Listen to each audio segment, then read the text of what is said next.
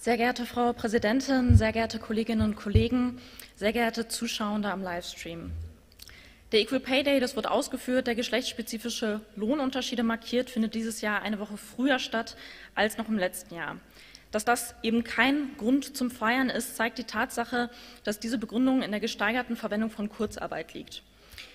Denn 18 Prozent Lohnunterschied im Jahr 2021 sind auch so ein Armutszeugnis. Und wenn wir uns den innerdeutschen Vergleich anschauen, sehen wir, ja, in Westdeutschland sind es sogar 20 Prozent und im Osten nur 6 Prozent. Aber das liegt eben nicht nur an feministischen Errungenschaften, sondern leider auch am insgesamt geringen Lohnniveau. Und wenn wir uns die Reihung äh, innerhalb Europas angucken, liegt Deutschland ja sogar nur auf Platz 24.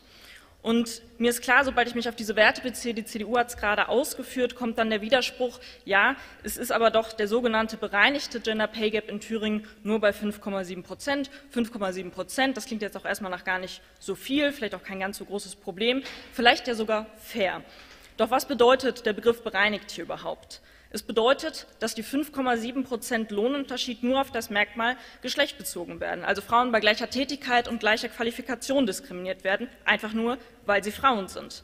Es heißt damit aber eben auch, dass die restlichen Lohnunterschiede auf diskriminierende Strukturen zurückzuführen sind, die Lohngleichheit verhindern. Strukturen wie Minijobs, wie Teilzeit, wie die Intransparenz von Gehältern, wie die ungleichen Aufstiegschancen und wie auch Prekarität in frauendominierten Berufen. Und Berufe, in denen überwiegend Frauen arbeiten, werden notorisch entwertet und damit auch geringer entlohnt. Das wurde in der Aktuellen Stunde zum 8. März bereits dankenswerterweise von Frau Abgeordneter Wahl ausgeführt. Sich zu kümmern ist weiterhin weiblich assoziiert, wie wir in den sozialen Berufen sehen.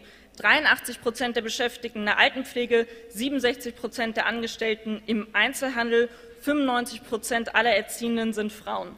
Heißt, Frauen suchen sich nicht schlechter bezahlte Berufe aus, sondern Jobs, die sich Frauen aussuchen, werden schlechter bezahlt. Und das ist nicht hinnehmbar.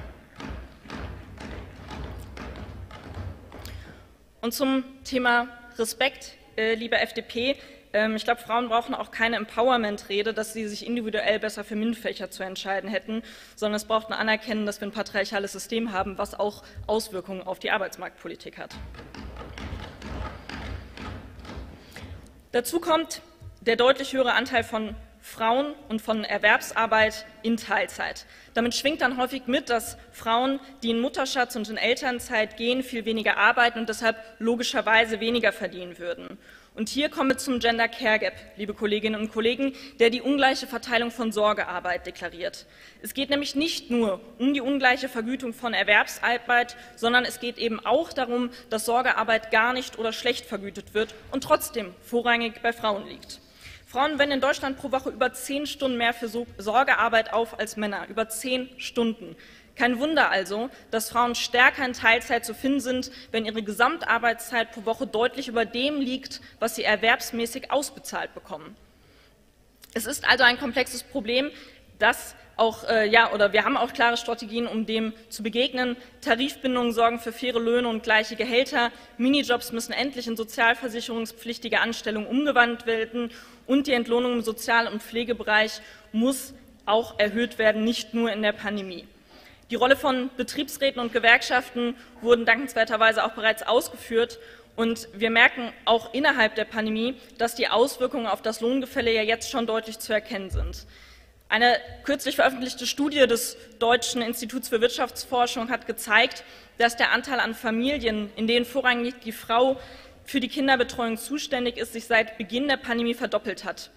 Auch wurde festgestellt, dass Frauen vermehrt in Homeoffice gegangen sind, um die anfallenden Sorgetätigkeiten überhaupt noch ausführen zu können. Und bei Vätern ist das schlichtweg statistisch nicht der Fall.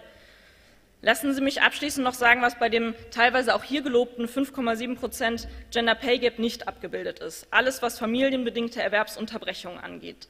Es liegt damit nicht nur allgemein eine Ungleichbehandlung von Frauen vor, sondern auch konkret eine von Müttern, weil durch Elternschaft Einkommensverluste und daraus folgend auch Rentenverluste für Frauen entstehen. Altersarmut ist noch immer ein weibliches Phänomen. Also nein, auch der bereinigte Gender Pay Gap ist kein Grund zum Feiern. Wir müssen weiter für die gesellschaftliche Umverteilung und weiter für die Aufwertung von Sorgearbeit kämpfen. Und ich sage ganz klar, ich verlasse mich dabei nicht auf den Optimismus von männlichen Vorrednern. Vielen Dank.